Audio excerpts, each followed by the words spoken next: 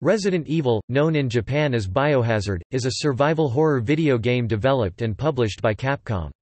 Released for the GameCube video game console in 2002, it is a remake of the 1996 PlayStation game Resident Evil, the first installment in the Resident Evil video game series.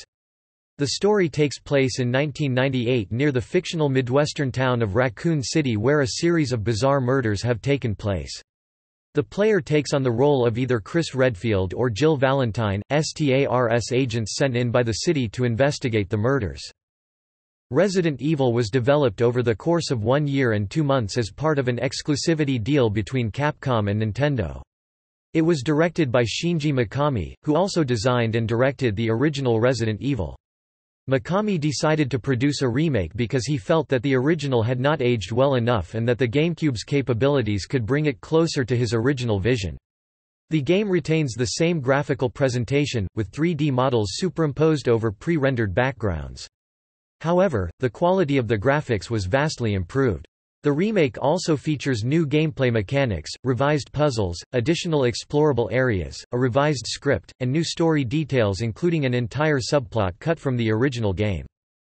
Upon release, Resident Evil received critical acclaim from video game journalists, who praised its graphics and improved gameplay over the original game. It is often described as one of the best, scariest, and most visually impressive entries in the Resident Evil series. However, the game sold worse than expected, leading Capcom to change the direction of the series to a more action-oriented approach.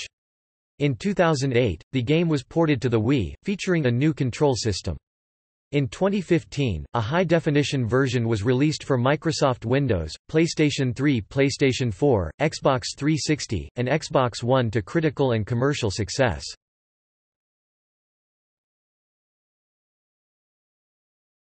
Topic: Gameplay Resident Evil is a survival horror game where the player controls the on-screen character from a third-person perspective to interact with the environment. To advance, the player must explore a mansion and its surrounding areas while avoiding, outsmarting and defeating monsters including zombies, undead dogs, and giant spiders. The player can open doors, push certain objects, climb obstacles, and pick up items.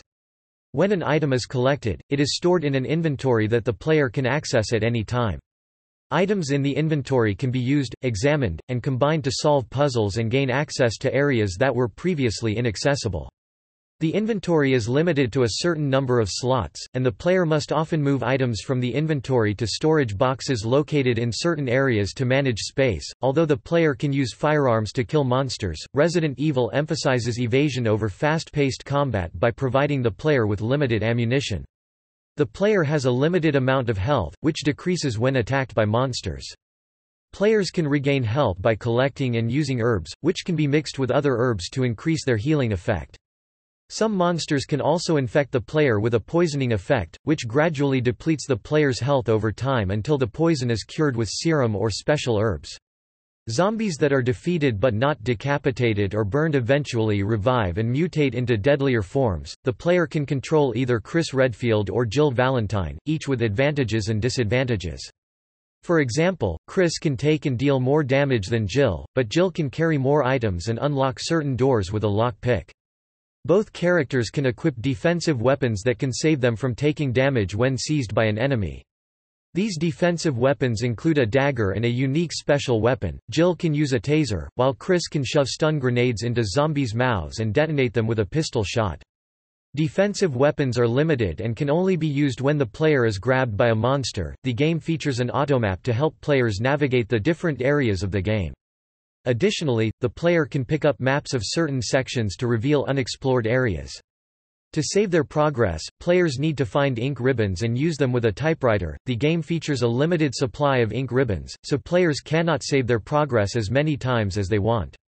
The story is slightly altered by the character the player chooses to play as, and certain choices the player makes in the game can impact the direction of the game and its ending.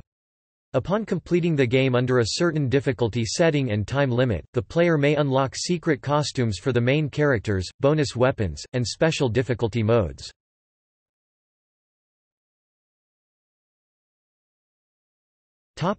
Plot On July 24, 1998, a series of bizarre murders occur on the outskirts of the Midwestern town of Raccoon City. The Raccoon City Police Department's Special Tactics and Rescue Service STARS are assigned to investigate. After contact with Bravo Team is lost, Alpha Team is sent to investigate their disappearance. Alpha Team locates Bravo Team's crashed helicopter and land at the site, where they are attacked by a pack of monstrous dogs, killing one of the team. After Alpha Team's helicopter pilot, Brad Vickers, panics and takes off alone, the remaining members Chris Redfield, Jill Valentine, Albert Wesker and Barry Burton seek refuge in an abandoned mansion, where they split up.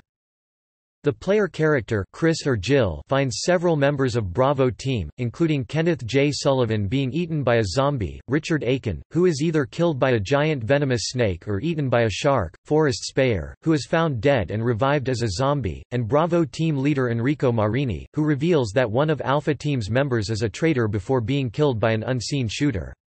Bravo team survivor Rebecca Chambers joins Chris. The player character learns that a series of illegal experiments were undertaken by a clandestine research team under the authority of a biomedical company Umbrella Corporation. The creatures roaming the mansion and its surrounding areas are the results of these experiments, which have exposed the mansion's personnel and animals to a highly contagious and mutagenic biological agent known as the T-virus. The player character discovers a secret underground laboratory containing Umbrella's experiments. There, they find Jill or Chris in a cell and encounter Wesker programming a tyrant, a humanoid supersoldier. Wesker reveals that he is a double agent working for Umbrella, and plans to use the tyrant to kill the STARS members. In the ensuing confrontation, Wesker is apparently killed and the player character defeats the tyrant. After activating the lab's self-destruct system, the player character reaches the heliport and contacts Brad for extraction. The ending changes depending on the player's actions at key points. In the best ending, the surviving team members escape by helicopter after defeating the tyrant again. In the worst ending, the mansion remains intact and the player character is the sole survivor.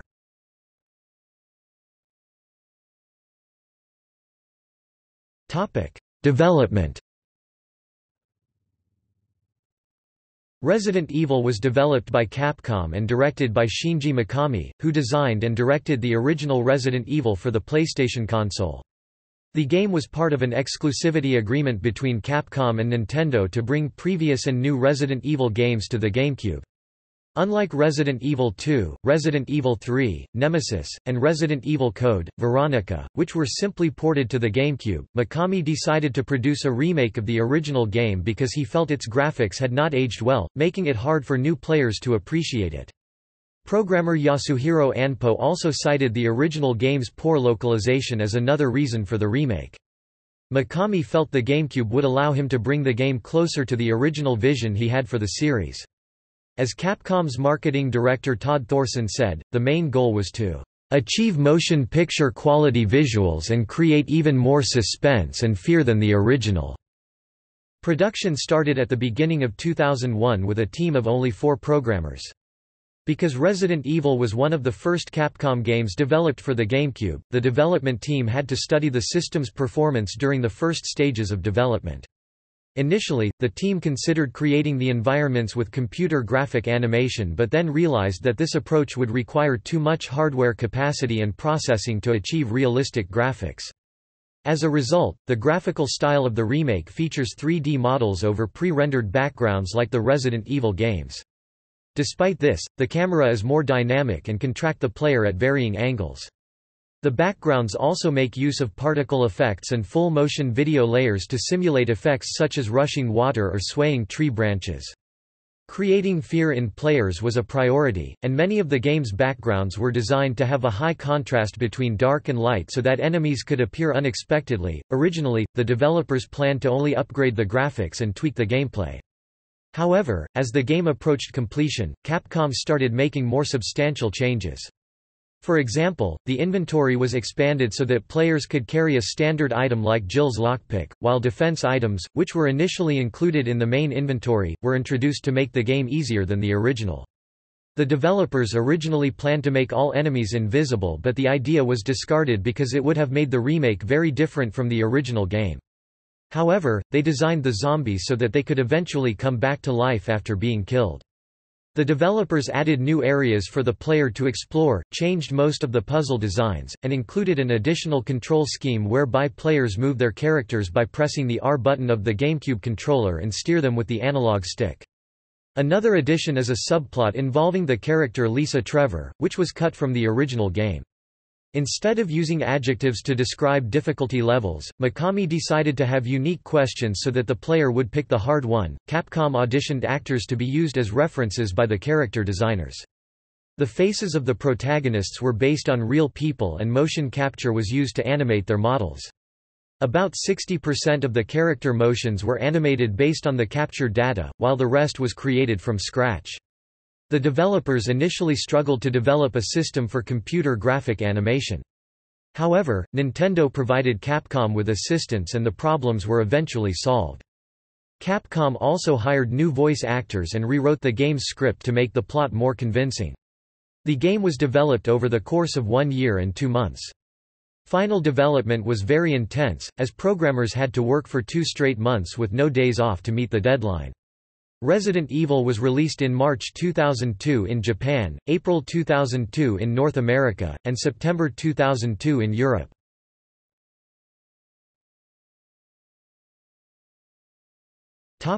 Reception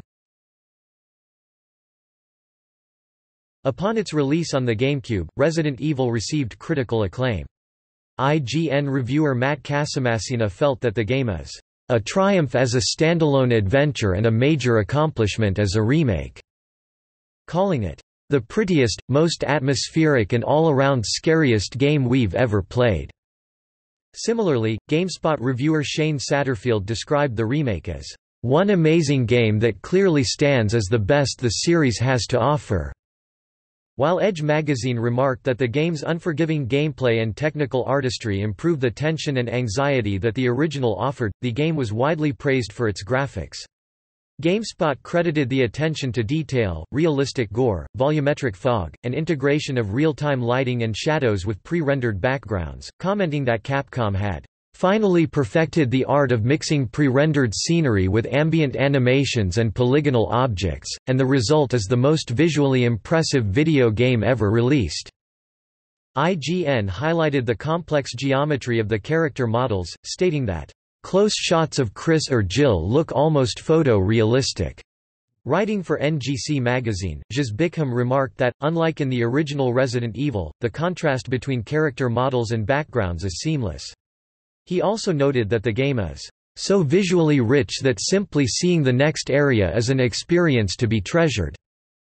The game's suspenseful and cinematic atmosphere received praise, with Game Revolution going so far as to say that the game makes the original Resident Evil look like Pong.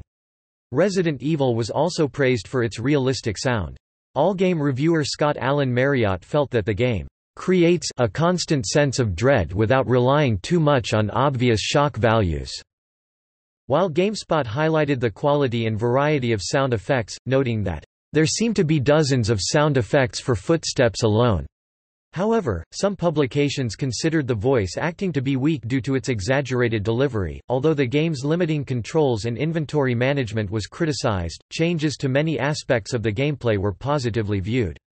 Mike Weigand of GamePro wrote, It's like playing Resident Evil for the first time. GameSpot remarked that the defensive weapons add a new layer of strategy to the game. However, the controls were criticized for their lack of analog precision, a feature that was previously available in the Nintendo 64 version of Resident Evil 2. Hector Guzman of GameSpy criticized the fact that the original game's laborious Tank controls, whereby the analog stick moves the player character in the direction they're facing, was not changed, stating that it can cause unnecessary difficulties when players try to evade monsters. IGN's criticism was similar but considered the game's alternative control schemes a welcome addition. At the GameSpot's Best and Worst of 2002 awards, Resident Evil was nominated for Best Story on GameCube, Best Graphics Technical on GameCube, and Best Action Adventure Game on GameCube. As of January 2004, 445,176 copies of the game had been sold in the United States. In May 2008, Capcom revealed that a total of 1.35 million copies of the game were sold.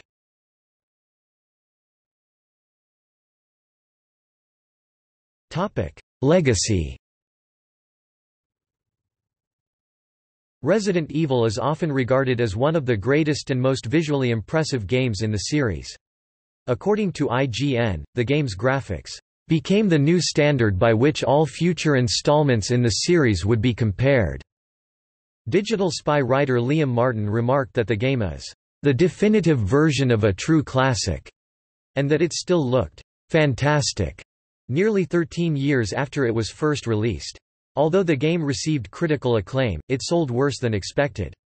As a result, Mikami and Capcom decided that subsequent games in the Resident Evil series would shift away from the survival horror genre and incorporate more action-based elements, starting with Resident Evil 4 in 2005. Before that happened, Capcom developed Resident Evil Zero, a direct prequel using the same graphics engine and released in late 2002.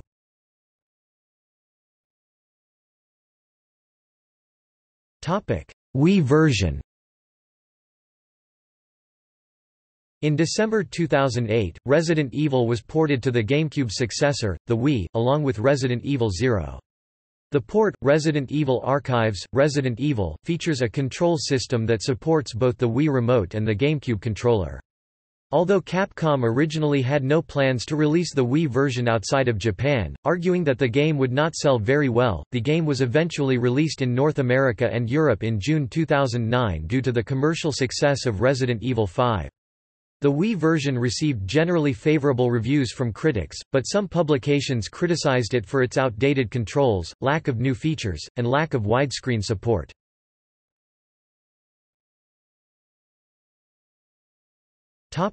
Remaster A high-definition HD version, Resident Evil HD Remaster, was released for Microsoft Windows, PlayStation 3 PlayStation 4, Xbox 360, and Xbox One in January 2015. The HD version supports 5.1 surround sound as well as a resolution of 1080p and a widescreen aspect ratio of 16 to 9.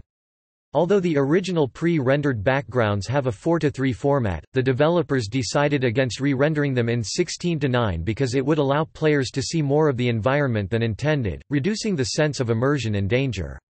As a result, the developers added vertical scrolling to the backgrounds, which respond to the movement of the character, to fit the remaster's widescreen aspect ratio. A new control scheme was also included, allowing players to move their character in the direction of the analog stick. The remaster was a commercial success, breaking sales records.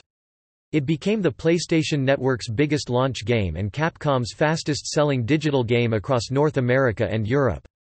Capcom announced that the remaster exceeded sales of 1 million copies by April 2015. Its commercial success resulted in Capcom's announcement of a similar edition of Resident Evil Zero in 2015.